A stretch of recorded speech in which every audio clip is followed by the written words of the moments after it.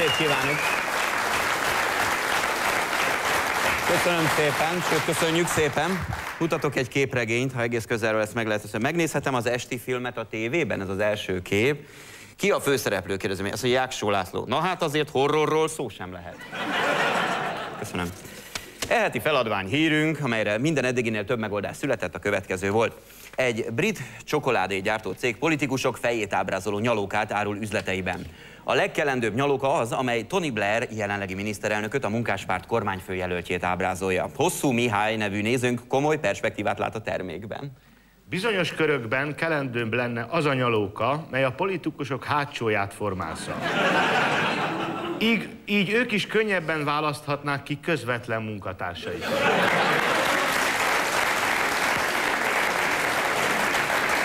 Balázs András budapesti nézőnk más alapanyagot képzel el nyalánkságunk előállítására. Politikusaink oly gyakran változtatnak arcukon, hogy az ő fejüket inkább gumicukorból kéne megformázni. Idézett játékunkra Vecsei Károly Balatonalmádi nézőnk egy Ne rendkívül... haragudj, de nekem van még egy. Most jön majd, az? Elszúrtam volna? Na jó, Barsi, nem. Barsi Miklós Budapestről ezt írja. Velünk már évek óta nyalatják a magyar narancsosat, de jövőre lehet választani, mert lesz már megyes is.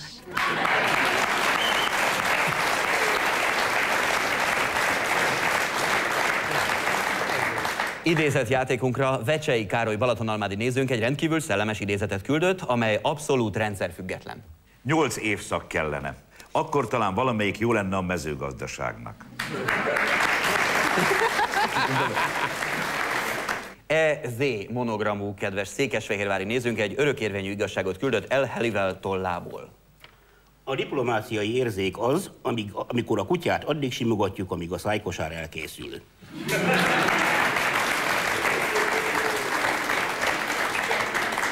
És egy szőke bombázó aláírással a következő e-mailt kaptuk. Gratulálok a műsorhoz, imádom, hiányzik a Váncsa bácsi. Hölgyeim és uraim, Váncsa István!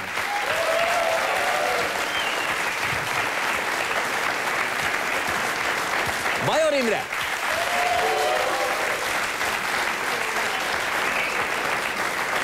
Távölgy János! Hernádi Judit!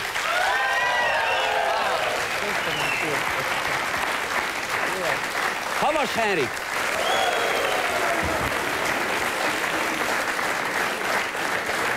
Farkasházi Tivadar!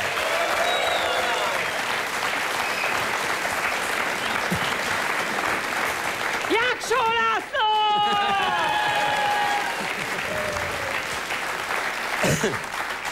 Na jó. Orbán Viktor, miután átadta Válon a milleniumi zászlót, részt vett a bodzavirág ünnepen, ahol elbeszélgetett a helyi vállalkozókkal, megkóstolta a bodzalekvárt és a bodzafagylaltot. Vál ott van, Alcsút és Felcsút közelében, és felidézte nekik Szent István alakját. Lehet, hogy ott is megállt pihenni, nem? Válon. Válon? Igen. Egyszer voltam egy ünnepségen én is. Válon vittek ki. Én voltam egyeken, az is nagyon közel van oda. Pátyon át. Pátyon át. Ne kejpítjetek ma!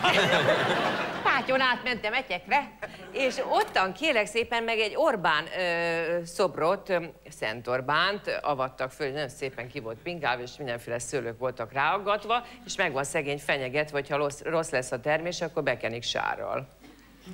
Hát ez vár az Orbánra, és ezt akartam mondani, meg még az, hogy én nem csak bodzá, üzéket, fagylat nyaltam, fagylat, hanem bodza pálinkát ittam, bizonyám, nagyon finom. Egy pillanat, nem menjünk még tovább. Ne, tudni. én is azt mondom, maradjunk itt, várj! Persze, hát ennek nagyon-nagyon fontos, szimbolikus jelentése van annak, amit itt ö, ö, olvashattunk, vagy hallhattunk. Tudni, ez egy horror.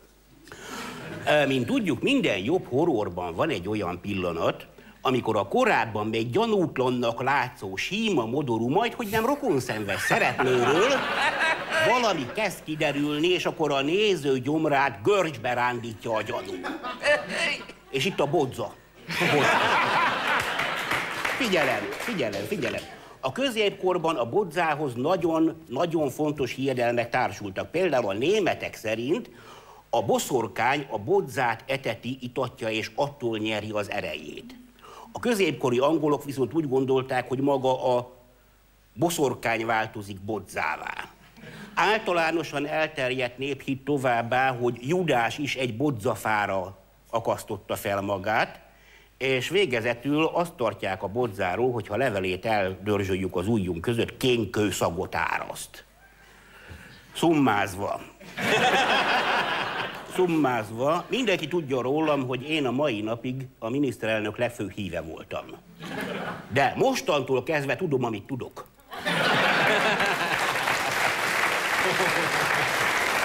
nyerni, ahol az lesz majd benne, hogy a Mátyás király elment alcsútra, leheveredett, és egy álmot látott egy igazságos királyról.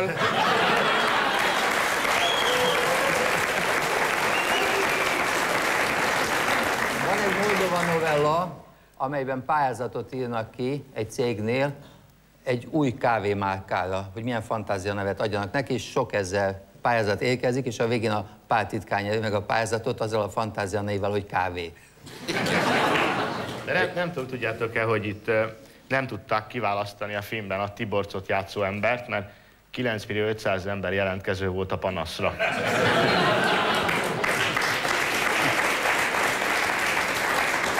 Luci, azt hallottam, hogy te játszol a bánkbában. Mit énekelsz? Életem, én, én prózában adom elő Te a ugyanezt. Marton Éva vagy, vagy a Jost Andrea? Marton Éva.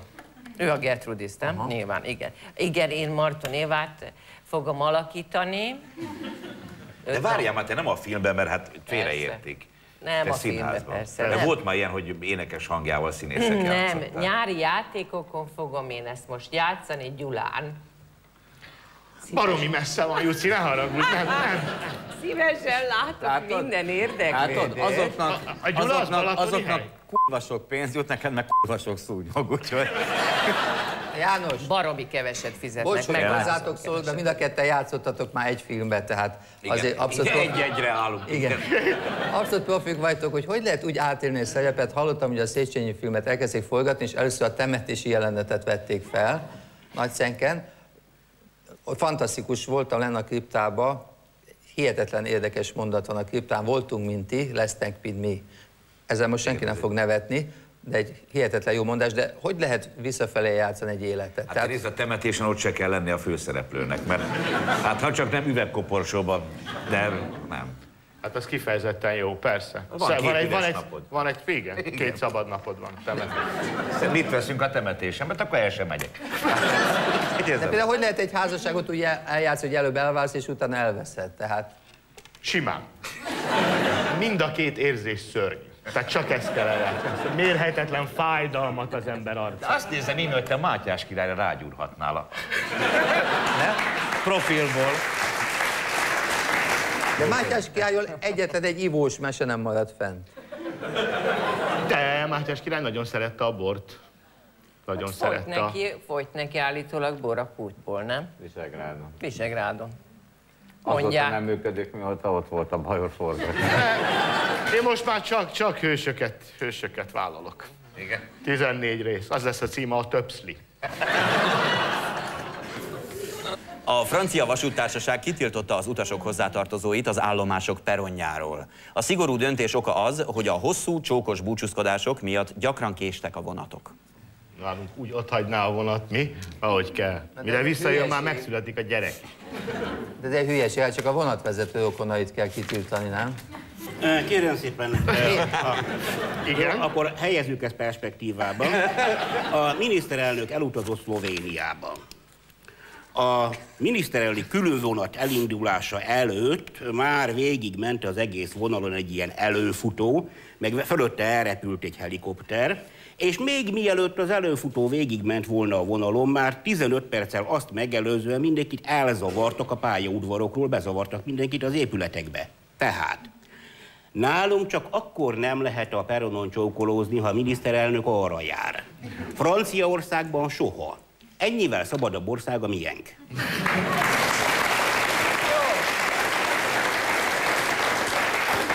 Szerdán, szerdán reggel mentem le e, vizsgáztatni e, Szegedre, negyed hétkor indultam, nyolckor akkor kellett odaérnem, akkor kezdődött a vizsga.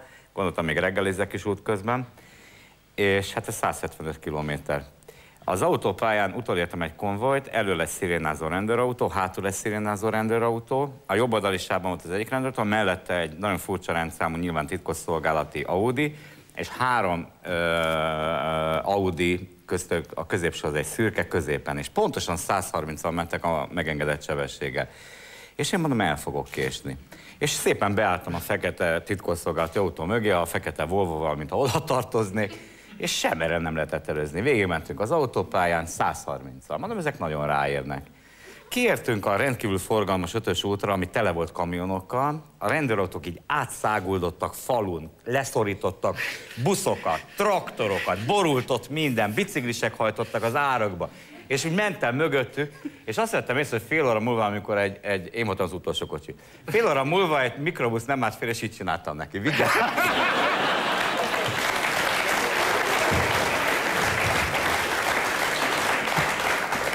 Apám a Horgász Szövetkezet elnöke volt, és az volt a mániája, hogy én tudok horgászni. És az 50-es években ilyen svéd dobolsóim voltak, üvegboton volt, parazsiekek álltak mellettem, és 60 kiló halat fogtak, én meg egy ilyen snecivel mentem haza, és mindig kiadott napszámba, és rettegtem, hogy egész nyáron horgásznom kell, és a nagyanyám utazott le Balatonszászról, kettőkor indult a déliből a személyvonat, nyolckor mentünk ki a vonathoz, föladtuk a biciklit, a csomagokat, olyan volt, mint a Scott kapitány expedíciója, ilyen petrofor, liszt, petrólon, minden semmit nem lehetett kapni, és mikor oda megérkeztünk, akkor Szántótól szervezte a leszállást. A fél vonat gyakorlatilag segített nekünk, hogy leszálljunk, és akkor, mikor leszálltunk, minden megvolt, és akkor kérdezte, a horgászbotot levetted? Mondom, nem te vetted le? És egy ilyen kis távolodó pont ment Nagy Kanizsa felé. Így úszta meg a horgászást egy életre.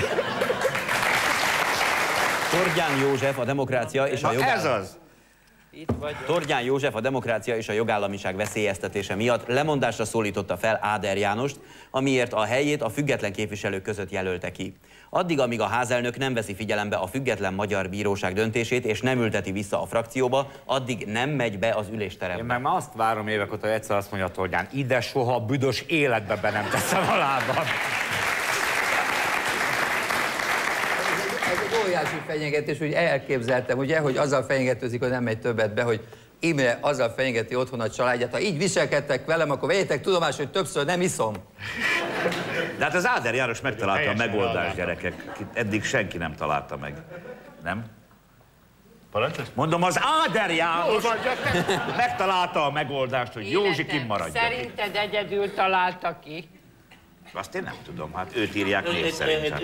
Le vagytok maradva. Na. Tudjuk, a helyzet az, hogy a mai lapokban már benne van, hogy ö, Tordján végrehajtást kér. A bírósági ítélet végrehajtását kéri. Áder És- ellen, aki most igen, karambolozott, és igen, vége és, van és a azt Palinak. mondta a végrehajtói kamara elnöke, hogy ez teljesen korrekt dolog, ez végrehajtható. Most elképzeltem, hogy hogyan is hajtatja végre ezt a bíróság? Tehát hogy lesz az, hogy a Tordjánnak a frakció... Hogy Nagyon hagyják egyszerű. végre? Kézen fogva bevezetik Tordján, ketten, és így lenyomják a székre. Itt maradsz, Józsi!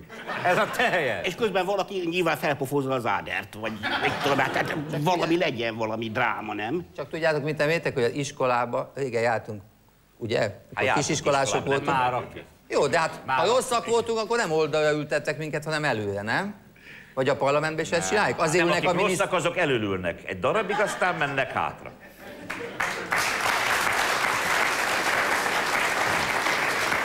Csak hagyj idézzek a mestertől, mert mostában van ideje a kis újság. Írtam valamit?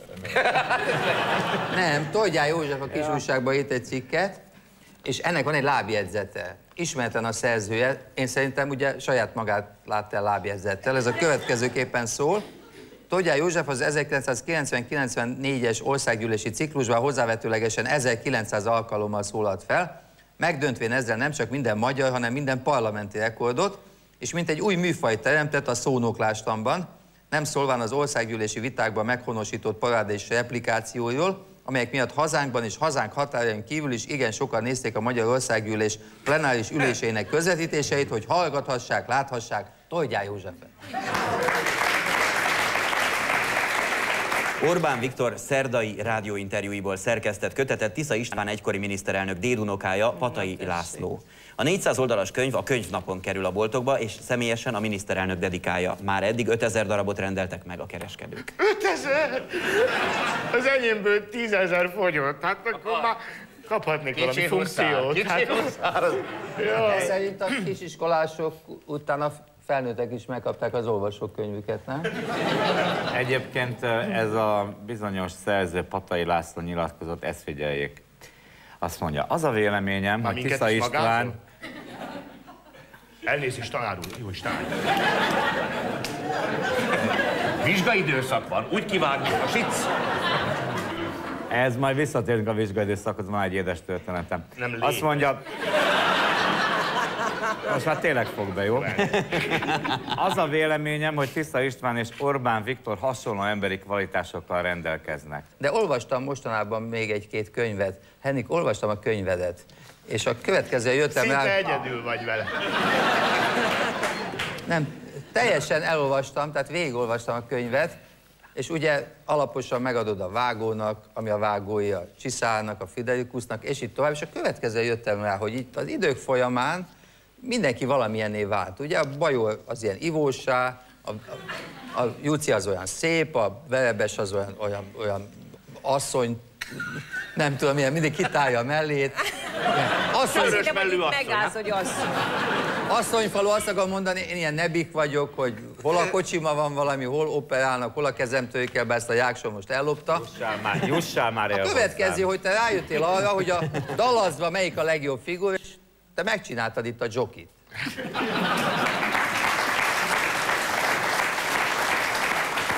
Őszintén szólva, őszintén szólva a hajlamon meg volt hozzá. A... Olaj ne törjön föl belőle, Henrik. A vizsgasztori tényleg édes, egész héten vizsgáztattam, nem is, se, se, se borzasztó, reggel 8-tól délutánig. Jön egy kölök, húzza a tételt, elkezdi mondani, ötödik mondatnál mondom, ne haragudjon, álljunk meg itt, és szeretném, hogy ezt jobban kifejteném. Azt mondja, tanár úr, kérem, ne vágjon közben, nagyon megkérem. Én végig gondoltam ezt a tételt, és a magam részéről szeretném, hogyha azon a logika mentén haladnék a tétel kifejtésében, hogy én ezt elgondoltam. Mondom, jól van, folytassa. Megint mond valamit, mondom, most már tényleg ne hogy megállítom, de itt, itt, itt van egy kérdés, amit kénytelen meg feltenni, a tanár úr, én nagyon megkérem, ne kérdezzen közben. A végén majd lesz alkalma feltenni kérdéseket. Mondom neki, figyeljen ide! Tudja maga, hogy kivel áll szemben? Azt mondja, hogy ne tudnám.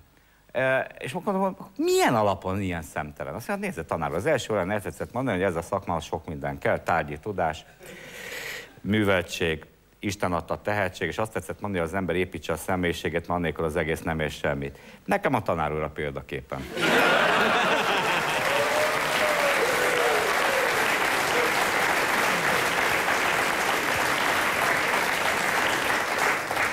Hát ha már a bestsellereknél tartunk, akkor hadd, kaptam én egy levelet, mert Herik nem voltál itt múlt héten, és nagyon-nagyon dicsértük a könyvet, tényleg. és én mondtam, mondtam azt, hogy ez borzasztó lesz ez a hét, mert ezen a héten nem jelenik meg egy könyvet sem. És azt írta N. Zsuzsanna Budapestről, két héttel ezelőtti adásokban a proféta szólt önből, már íme bizonyíték annak, ha nagy szellemek találkoznak. Itt van, lefotózta egy könyvesbolt kirakatában, szeretném megmutatni, ez teljes árleszállítás. 70%-os árleszállítás, itt van a Bajor és itt van a Havas egymás mellett. Meg vagy hibban van. Gyerekek, János, ezek én tények. ritkán mondom magának ezt, Hát de, de ez nagy félreért. Mennyi utána ennek, mint a juszt?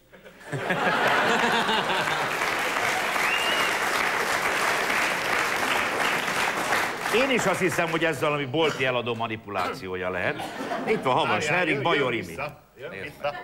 Igen? Le vagy tök értékel. Hogy lennénk már? 70%-os, az azt jelenti, hogy majdnem ingyen adják.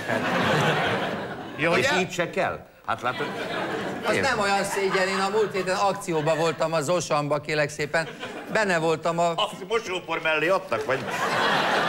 benne volt a füzetbe, és ott volt egy szép tányér mellette, meg egy zokni. Lehet, hogy ilyen szedbe adtak engem. Szegény Imi, az készen van már, teljes. Ennyire nem megy ez? Nem azért, mert a, Mert a havas ezt érted? az ár, árcédulát pont rátették a fejemre, és tiszta kopasznak tűnök. Azért a... Szörnyen néz. Ti- Úgy nézek ki, mint a... Múltkor a úgy kértem két jegyet, azt mondja, hogy 1500, mondom, adja 1002, azt mondja, mi adja? Mondom, hát ki van írva, hogy akciófilm.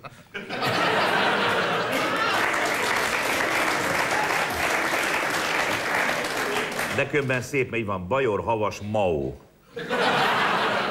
Istenem. Na, küld ide, mert tényleg meg akarom nézni majd én. Hány oldalas a könyv? Leleplezlek én téged. Hány Nem, oldalas a ezt könyv? beküldték. Gyerekek, hát, nem, tud, ne beszéljünk egyszerre, hogy mondanák Koltai János. Vagy Na jó, akkor Hány oldalas én, a én könyv, vagyok ezt az, aki kérdezte? ritkán olvas fel nekiírt levelekből, de most felolvasok. Dia írta. Kezdeném azzal, hogy a műsor szuper, de ha ön nincs ott, én, a színvonal és a hangulat jelentősen visszaesik. Szóval ne utazgasson már annyit. Most jön az, amiért tollat ragadtam. Mi az ön csillagjegye? Ez a kérdés már régóta nem hagy nyugodni, ugyanis nem tudom elképzelni, hogy melyik az a csillagjegy, ami ennyi jót foglal magában. Édes Isten. Her... A göncölszekér.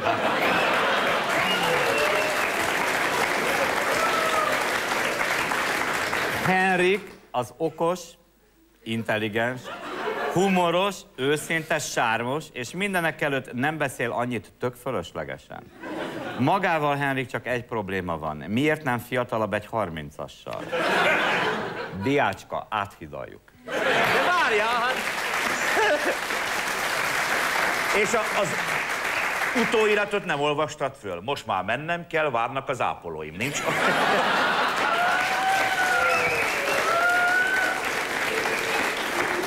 Nem tudsz olvasni? Hol? Huszár, hát. De hol volt? Milyen 70 százalék? Itt van két matematikus. Na. A könyvem eredeti ára Ingyen 1780 van, vegyék forint, árulják 1611-ért, akkor ez 70 százalékos leszállítás, kedves János. De, de oda van írva, hogy 70 De az egy másik kép.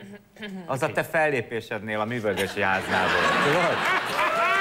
Ide van írva, hogy ma a kisteremben önálló előadást adja elő. Tényleg. Belét kötött, Az, rohadtul elő, belét az előttem íróhoz csatlakoznék, Henrik, őszinte hívetként. Nem szoktam fellépni, nem vagyok rászorulva. Egy. Ahol én fellépek, ilyeneket nem árulnak.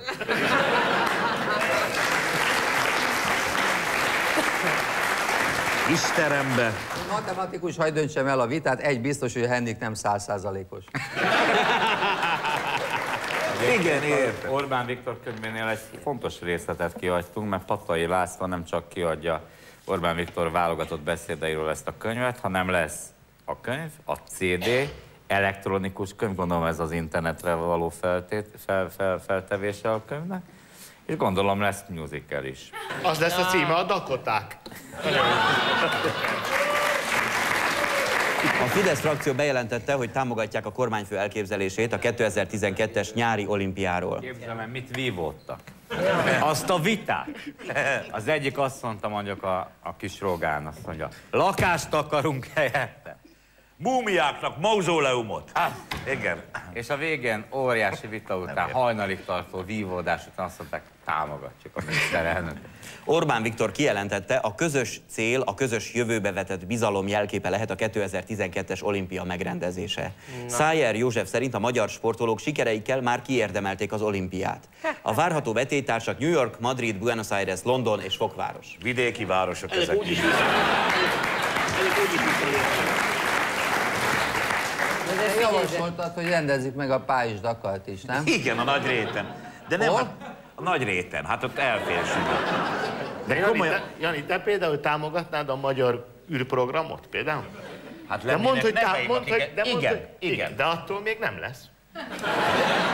De nem, hát azt hiszem a Martin Luther King mondta ezt, hogy nekem van egy álmom, ugye? Ő mondta ezt először. Igen, ő mondta. Szóval csak az föl kéne ébredni, hát most volt ez a NATO tanácskozás, vagy még ma szombat van, lehet, hogy már elment. Hát ez egész város át, vagy átjutni az Árpád hídról olimpia nélkül, mondjuk az másfél óra. De hogyha itt olimpia, nincs egy nyilvános klozet, mondjuk végigmegy az ember, hát Nem tudom, hogy föltűnte neked, hogy hogy az van Nekem írva, föl- nincs egy ne haragudj, hogy New York, Madrid, Buenos Aires, London, Fokváros, ezek városok. És Magyarország. Érted? Ja, Figyeltem, igen, mondja senki, hogy Budapest. Ja, hogy ez egy gyors... Ja, igen, Mondjuk Debrecenben lesz, vagy nem. Oda megy az út, és. O- olyan... Képzeld el!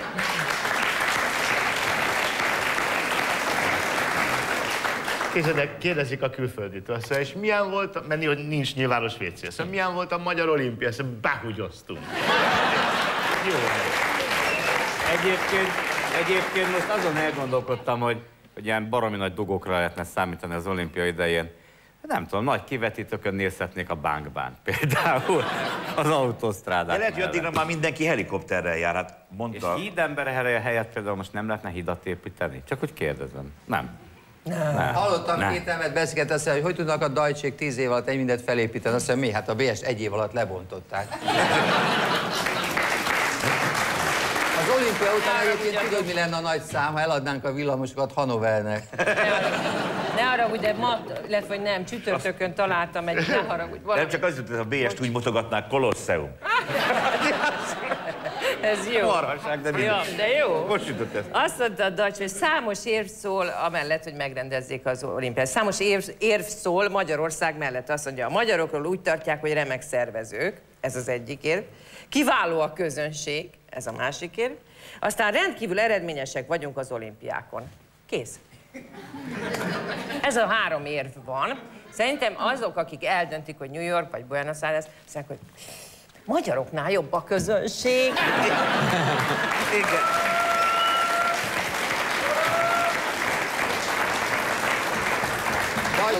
Az a, az a baj veletek egyébként, hogy defetisták vagytok, szóval De mondd meg, hogy mit jelent, mert megsért. gáncsoskodók vagytok, Igen. és borullátók, és egyáltalán. Igen. Most gondoljuk meg, tehát még a Demszki is azt mondta, hogy ezt az egész koszos olimpiát össze lehet hozni másfél billió forintból. Tehát eh, 1500 milliárd forintból. Eh, Ez, eh, Mert milliót mondtál. annyira- nem. Ja, billió, billió, ja, billiót billió, mondott, azt meg mi már nem is halljuk meg, igen. Szóval másfél billió, 1500 milliárd forintból. Na most az, ugyebár, ha jól számol, vagyunk 10 millióan, akkor ez annyit jelent, hogy fejenként 150 ezer forintot kell leraknunk az asztalra, és akkor lesz belőle olimpia. Természetesen mindenkinek, tehát a, a hajléktalanokat, a gyenge a csecsebőket is beleértve. No, de hát ugye hát az ember fizet adót, tehát én a magam részéről például az idén az olimpia árát kipengettem. A többszörösét kipengettem mellesleg. Kérem szépen, én már is hozzájárulok, hogy egy részéből legyen olimpia. Én azt szeretném tudni, hogy a többiből, többiből mi lesz?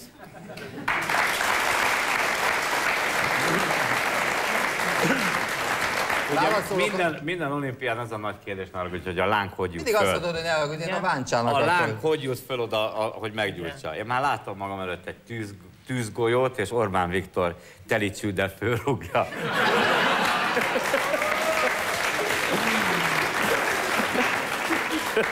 De, de hát ezek fölépülnek, akkor még mindig van az, hogy nem kapjuk meg az olimpia rendezésjogát, nem? Nem, de azt mondják, hogy akkor elindulunk, és akkor majd, tizen, majd négy évre rá, tehát 16-ba.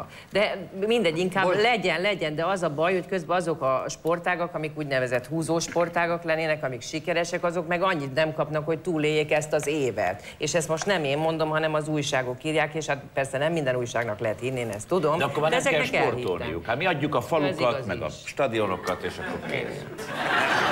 Az Újpest hagyományosan az olimpiai sportágakban re- rendkívül jó volt, a Fradi mindig ezekben a populáris népszerű labdajátékokban nyomul, de nálunk minden volt. Szóval Nálatok sportlövészet, öttusa, amit a szeminárium, és egyszerűen a kajakkenú szakosztályt szétszették a világhírű vívó szakosztályra, rászakad a tető, a cselgáncsosoknak nincs meleg víz, ez a tragédia.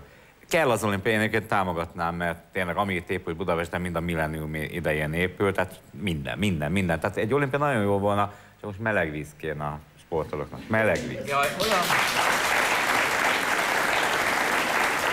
Hölgyeim és uraim, ne menjenek messzire, még egy ugyanekkora rész hátra van. Most egy kis reklám következik.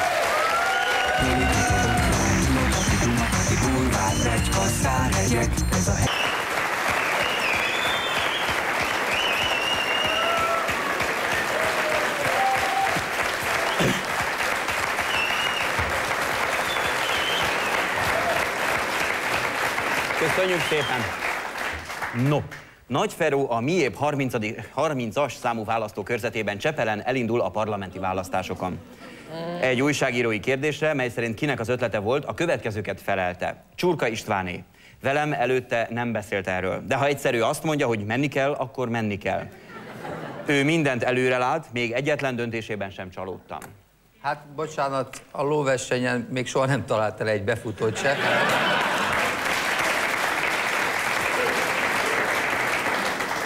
Lehet, hogy ezt eltalálja. Egyébként nagy felül azt mondta a napkeltébe vasárnap reggel, nagyon tetszett nekem, hogy a mi épp a szeretett pártja. Igen.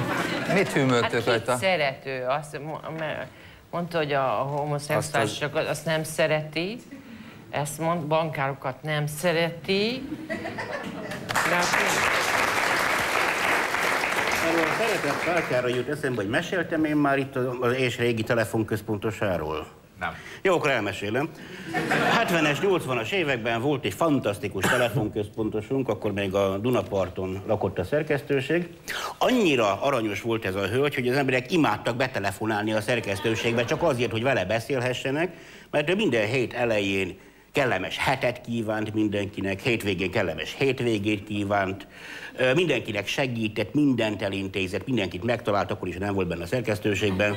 Ez egy, egy gyönyör volt, egy bűbáj volt, egy idősebb hölgy volt már, és egy idő után megtudtam, hogy ő ávós őrnagy volt korábban.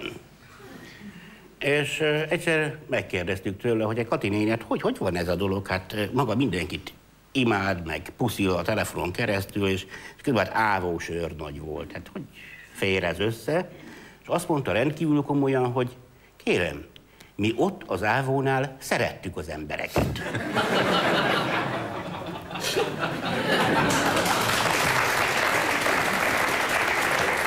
Az MSZP választmánya előbb átdolgozásra visszadobta a párt programtervét az elnökségnek, majd néhány napra rá megszavazta a jóléti rendszerváltás programját. Na most ez egy csúsztatás. Mert az összes újságban ez másképp jelent meg, ez valami bulvár sajtó. Én előre mondom, hogy figyeljél, felolvasom, mi jelent meg a Magyar Hírlapban Népszabadságban, és utána mondd el a tartalmát, jó? Igen. Hogy? Az MSZP megtárgyalta a pártválasztási programjának fő irányvonalaira vonatkozó előterjesztést. A testület felkérte Kovács László pártelnököt, hogy a Választási Stratégiai Bizottságban, illetve a választmányülés vitában elhangzott észrevételeket figyelembe véve Megyesi Péterrel is egyeztetve véglegesítsék a kongresszus elé kerülő dokumentumot. Csia Judit a választmány elnök helyettese közölte, azért kell beépíteni a vitában elhangzott észrevételeket, hogy jobban tükröződjön a szocialisták politikának középpontjában. A gyarapodó az esélyekkel élni tudó ember a társadalmi konszolidáció áll. Ennek olyan mozgósító ereje van. Dimitrov! Ezt is én mondtam neki. Megyesi, Megyesi Péter most, amikor programot hirdetett, azt mondta, hogy ezentúl az MSZP-nek rövid, érthető üzeneteket kell megfogalmazni a társadalom. Ez az Megyesi elvtárs.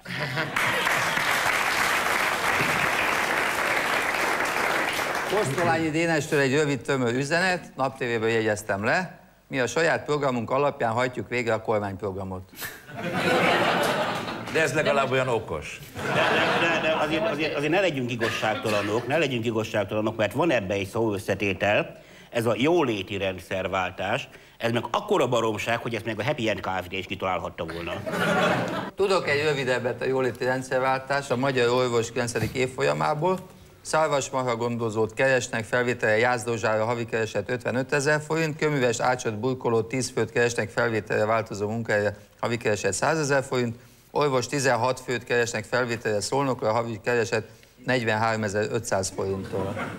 Jó, ez a jóléti. De most tényleg visszadobták, vagy nem dobták vissza? Ez azért, ezt marhára felolvastad. Hát sneci De- volt, visszadobták. Kicsit visszadobták. Na de ezt akartam éppen mondani, hogy aranyhalat is vissza kell dobni, mielőtt teljesíti a áramkívánságot. Hát mostan teljesíteni kell. Igen, igen. Egyre valószínűbb, hogy a továbbépülő M3-as autópálya polgár után előbb Debrecen felé fog elkanyarodni, és Tessék. ezután éri csak el Nyíregyházát. Majd visszakanyarodik Felcsútra.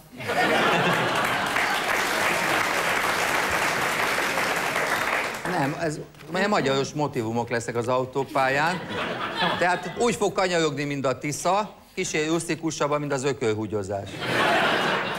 Volt egy hír tavaly szeptemberben, miszerint egy ember, egy ilyen parafenomén, kiderítette, hogy azért van annyi baleset az m 0 mert a bizonyos szakaszán a föld belsejéből ilyen geopatikus energiák gyűnnek kifelé, és ott a ö, gépkocsi vezető így összekompolyodik az agyanek, és akkor az, az lesz ami. Na most nyilván, nyilván vannak ilyen Fidesz közeli sámánok, akik megnézték a, a pályát, és látták, hogy geopatikus energiák jönnek kifele, Debrecenbe megyünk. Ennyi.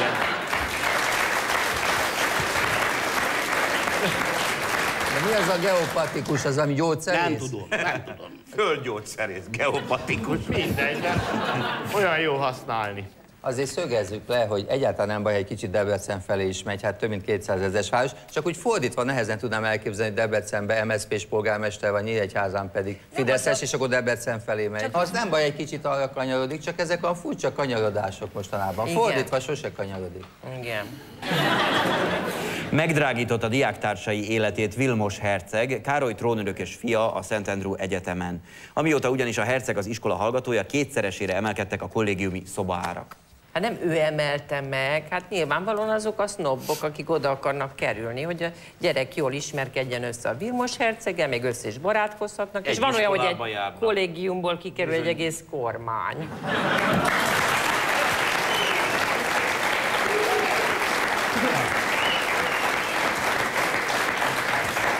A papájának isteni állása van, nem? Ide megy nyugdíjba. A Charles trónörökös már 50 éve, nem? Igen. Néhány adatot felolvasok, egy BBC anyag van itt előttem.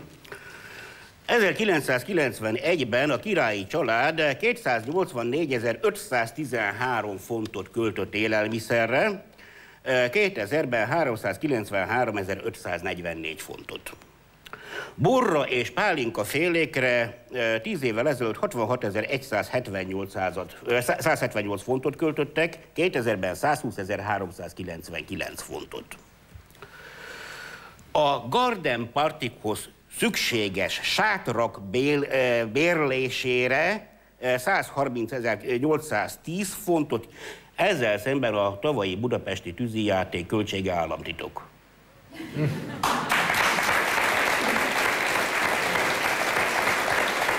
A Volt Ganzgyár területén létrehozott millenáris parkban népmesejátszóteret adott át Pokorni Zoltán, a Fidesz elnöke. Nem tudtam, hogy hol fogja Orbán Viktor a beszédeinek a gyűjteményét dedikálni, most már megvan.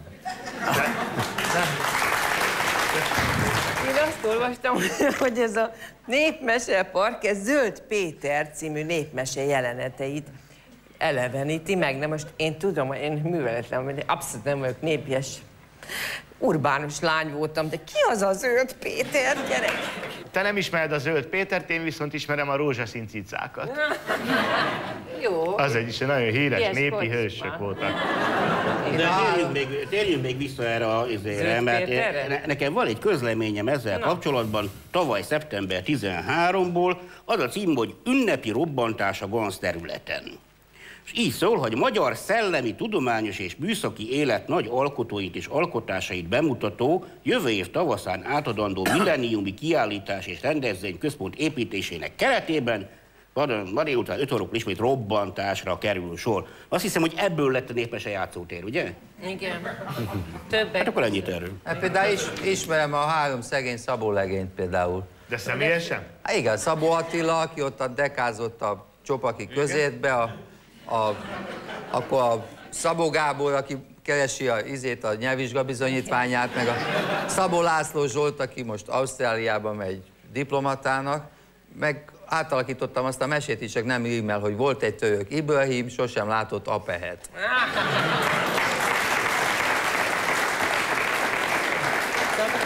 Még csiszolni kell rajta. Valaki tudja ezt, hogy miről szól ez a Zöld Péter? Ne hosszan, de már Ez a pirocskának a kivonatolva. fia nem- biztos. Gyuci, majd amikor film készül belőle, az Eperjessel a akkor meg főszerepben, akkor megtudjuk, hogy, hogy ki, ki a Zöld Péter. Na jó, rendben. Addig Én annyit tudok, hogy nekem volt egy ilyen gyerekkoromban azt mondták egyszer földrajzórán, hogy megyünk filmet nézni. Nagyon tudatlan lány voltam, mint mondom. És akkor azt mondták, hogy megnézzük, és akkor mondtam, mesefilm. És azt mondták, hogy az a cím, hogy Kazinc Barcika. És azt gondolom, ez nagyon helyes kis... Hát mi lehet abban a mese? Hát ez Hát, Kazinc Barcikáról, ki- Barcikának a.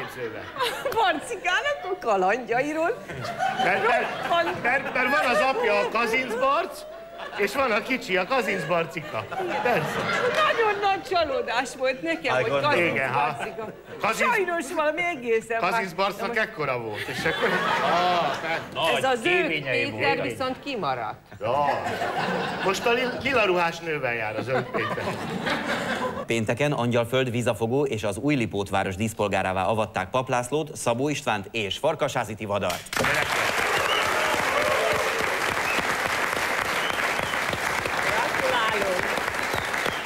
Ez jár valamivel? Tehát Jár. saját halott vagy a kerületben, vagy mivel? Részt vehettek, Nagyon nagy dolog, saját sírhely. Egyszer egy díj, amit nem mi kaptunk. Na hát, Istenem, most. részt vehettek például a tanács... Zászló átadás. 13. keletnek nincs is temetője, Igen. de szerencsétlen. Azon bárki részt vehet, az nyilvános. De tényleg mivel jár, És- Teddy? Hadd irigykedjünk. Kapsz valami lé? Tessék? Mit kapsz? Valami Hát sushi? lesz egy szobra neki, egy farkasházi szobor, de mi, mivel? Az önkormányzatnak az ülésen részt vehetek. Azon... Ja, ezt adták? Ez? Azok Mi? nyilvánosak, hát bárkiben mehet. Mit beszélte sehol se vagy? Fölavattam a múlt hónapban a Cibó emlékszobát, most már diszpolgár leszek, vagy voltam, vagy vagyok. Kérlek szépen, a Habsburg Otto lakodalmán ott voltam, volt egy Nancy-ba, Gödöllőn, Májvacelben, mert most már idősek és havonta csak hármat tudnak vállalni. nagyot mondtál. Te diszpolgár vagy, én meg havas Enriké. Ennyi. Bíró Ica hetedik érzéke azt súgta, hogy valami baj történik vele. Ugyanis valaki két hónapja terepszemlét tartott nála, és videóra vette az épületet.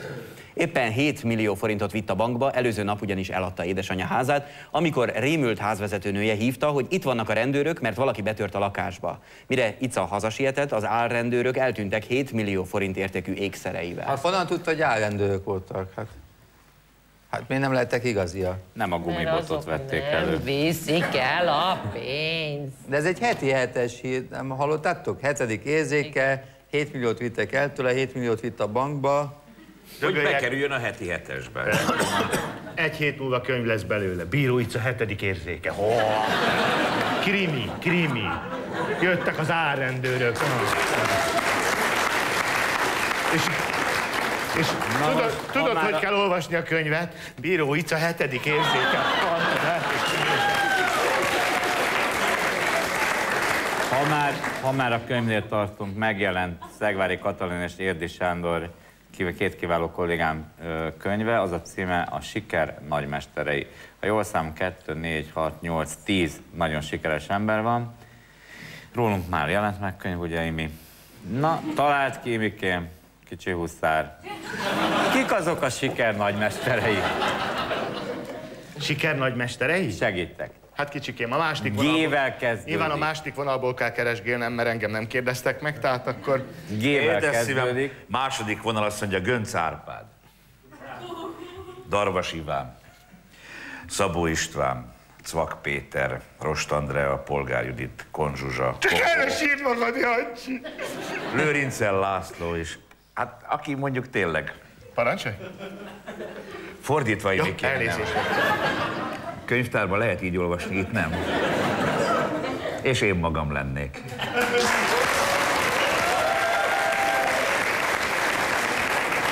Na most azért, kedves János, tegyük hozzá, Kérdezzél nyugodtan. tegyük hozzá, hogy rólunk megjelent egy-egy könyv, Köszönöm. rólad pedig egy tized.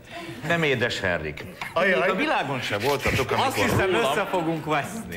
Nem, ezek tények. Itt Kérlek szépen- kormányalakítás előtt nem egészséges. De szeretném, ha tudnád, hogy kit veszel be. Hogy, hogy kinek, mondjuk, hogy kinek leszel. veszed be?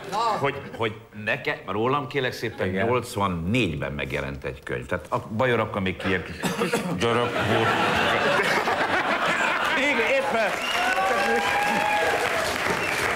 Még akkor ő még ilyen felesekkel játszott, és akkor Rátonyi Robert írt rólam egy könyvet, az volt a címe Agálvölgyi. Nem kötelező tudni, de hát az általános műveltséghez hozzátartozik. János maga kioktatott engem. Ki bizony, ki bizony. Azt mesél, meséld el, mert én tudok róla mindent, hogy mennyibe került a könyv akkor.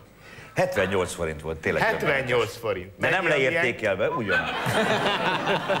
Különben meg hadd mondjam el, hogy volt ennek egy ilyen sajtótájékoztatója is, ami volt a Heriknek, meg neked is, és az volt az első kérdés, komolyan, több nem is nagyon volt, hogy Gávögy úr, a Bajor úrnak mit fog dedikálni bele? Hát mondtam, hogy felesleges, mert úgyse olvassa el.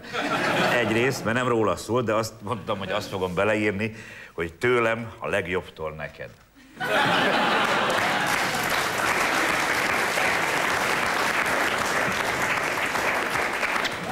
Bajor bemegy a Dunakeszi könyvtárba, Gyerekek, olyan lesznek, mint Móriczka most már, tényleg. Bajor bemegy a Dunakeszi könyvtár. de nem mind a siker nagymester, nem mind siker.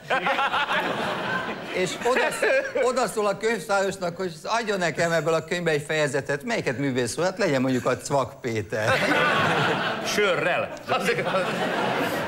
Egyébként csak annyit még a könyvekhez, hogy és volt a szó, előző hét szombaton a, a Népszabadságnak egy felmérése a, leg, a legtöbbet eladott könyvekről. Negyedik helyen állok. Pici huszár a hatodikon, kullog utána. Hogy, hogy, egy, meg a drága.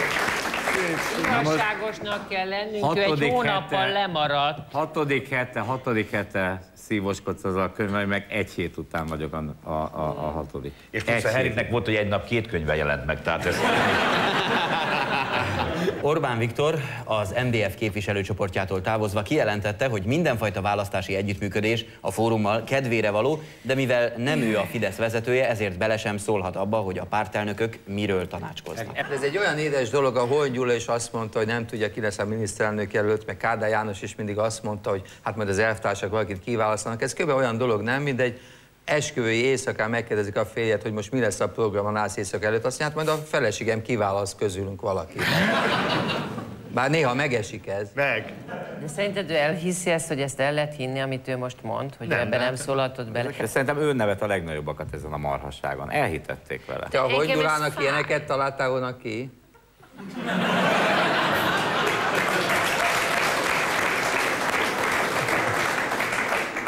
Ide hallgass, Teddy. Holnap átveszed az Angyalföld diszpolgára kitüntetést, tudod mi ez?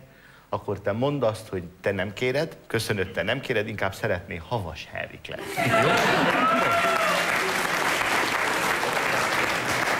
Meg fogod látni, hogy Heves megyét átkezdelik Havas megyére. Egyébként, egyébként szuper volt, mert a parlament mellett van egy kis étterem, és uh, múltkor uh, oda mentem vacsorázni, és a szomszéd asztalnál Rogán Antal ült, és Várhegyi Attila a két titán az, a, a Fideszből, és láttam, hogy jön a pincér az emlékkönyvvel. És akkor azt mondta, hogy legyen szíves, írjon bele valamit, hogy most először itt nálunk vacsorázott, és akkor beleírtam, hogy nagyon tetszik az az étterem, mert, való, mert nagyon közel van a következő munkahelyemhez. És akkor beleírtam, hogy Rogán úr figyelmébe, hogy ez csak vicc, de még bejöhet. És akkor mondtam a pincének, vigye a szomszéd asztalhoz. A Wall Street tőzsdevilágában De jó, jó. A Wall Street tőzsdevilágában, akinek nincs elég erős álla, ezt miért kellett nekem? Látod, én ide is írtam, hogy Lacika. Szeretettel köszöntöm Kandikó Évát, aki ezt írta nekünk 50. születésnapja alkalmával. A Wall Street tőzsdevilágában, akinek nincs elég erős álla, azt az, üz- Így olvasod fel. Ott nincs egy alja. azt az üzleti életben is gyenge fickónak tartják. Szegény Laci, ne is olvas tovább. De neki van állva. Hogy neki van álla, csak nem látszik, mert így hány. Rám vonul a foga, azért nem látszik. De nem volt neked egy meccsed a Kokóval? Nem, nekem a fogszabályzóval volt meg. Csak vesztettem. Ezért újabban a brókerek egymás... két fog a körmérkőzést játszottak. Nem, az történt egyébként, hogy fogat pótoltak és túl sokat raktak be felülre. Ennyi több. Világos. Ezért újabban a brókerek egymás kezébe adják a kilincset a plastikai De arcsebészeteken. még a kezedbe se tudnád venni, nem? Mert de, ezzel a kézzel... De én rendszeresen a kezembe veszem. A plastikai arcsebészeteken Hosszú téli estéken nincs annál jobb. A Az Már a bizt- fogát úgy érti. Há, hogy? Nyugati, Nem kell, nem kell hazakísérni a fogát. Nem erre kell gondoltam. Woody Allen mondotta volt, én nem vagyok az onánia ellensége, ez szex egy olyan emberrel, akit szeretek. A plastikai Henrik arcsebészeteken... föladta, kész. Hát ilyen azért nincs a könyvedben, valljuk be. Pedig az is elég obszén, de ilyet? Hihetetlen, attól, amilyen jól, hogy kicsináltam, hogy ez, ez hihetetlen b***z meg, de remélem, hogy nem Igen, a Henrik finom lelkét bántják ezek a csomók. Henrik, olyan ez a műsor, hogy én nem tudom, hogy hol vagyok, mert most vagy a Román Magyat nézem, vagy az Omega koncertet, de biztos, hogy nem vagyok itt. A plastikai arcsebészeteken némi áljavítás reményében. Igen? Ez volt a vége a mondatnak, amelyet 40 perccel ezelőtt én el... Elkapkodták a júniusi Playboyt az 53 éves Zalatnai Sarolta fényképével. A boltokból pedig kifogyott a púder és az alapozó.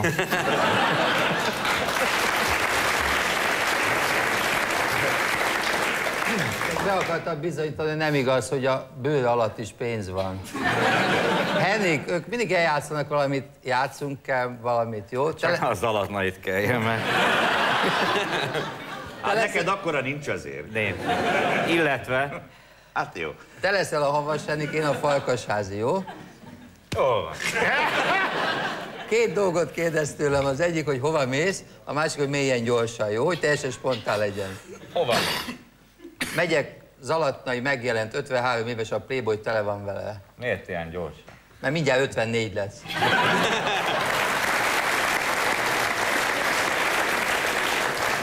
Na, egyébként nem kapkodták el a Playboyt, ma még láttam kettőt újságosoknál kirakva. Nem vettem meg, tehát el lehet kapkodni. De egy adalékot szeretnék hozzátenni ehhez, tudnék, tavaly ősszel a hölgyvilágnak azt nyilatkozta az alatnai, hogy idézem, azt tudom, hogy amikor locsolni kezdtem a mellemet, és megnőtt, Egyszeriben nagyobb lett a hangerőm, a hangterjedelmem, és a színe is érdekesebb. Ezt mondta az alatnai. Tehát kérem szépen, ha locsolni kezdjük valamelyik testrészünket, akkor az megnő, a hangterjedelmünk is megnő, és elkapkodják miattunk a Playboyt.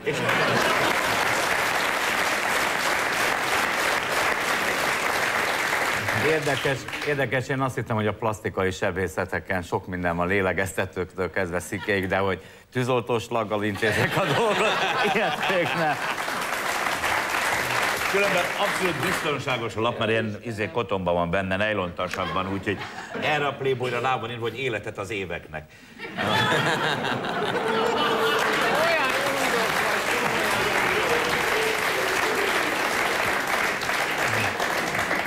Tulajdonképpen büszke lehet rá, tényleg, végül is megnéztem én is. Igen. És azt kell mondjam nektek, hogy hogy kinéz, jó Ma van. már mit meg nem lehet csinálni számítógéppel? Nagyon. Tölcsért csinálok a keblemből.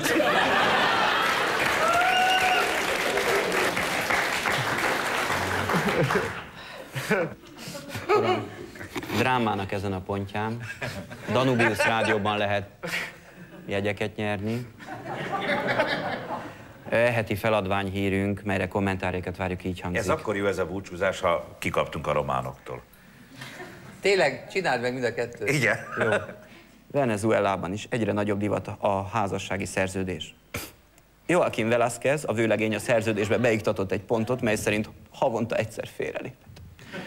Telefonszámú 0 203 0253 11 19 Budapest Sopron 40. A többi nem is érdekel. Egy pillanat, akkor megcsinálom a másikat. A Danubius rádióban lehet jegyeket igényelni a Jáksó Hátut Venni című műsorban. Eheti feladvány hírünk, amelyre kommentárikat várjuk, így hangzik. Venezuelában is egyre nagyobb divat a házassági szerződés. Joaquin Velázquez, a vőlegény a szerződésbe beiktatott egy pontot, mely szerint havonta egyszer félrelépett. A telefonszámú 061 Hát ugye 203 02 53. Van nekünk egy címünk is, 11 19 Budapest Sopron út 40, és az e-mail címünk 7 rtlklub.hu. Hurrá! Győztünk a viszontlátásra!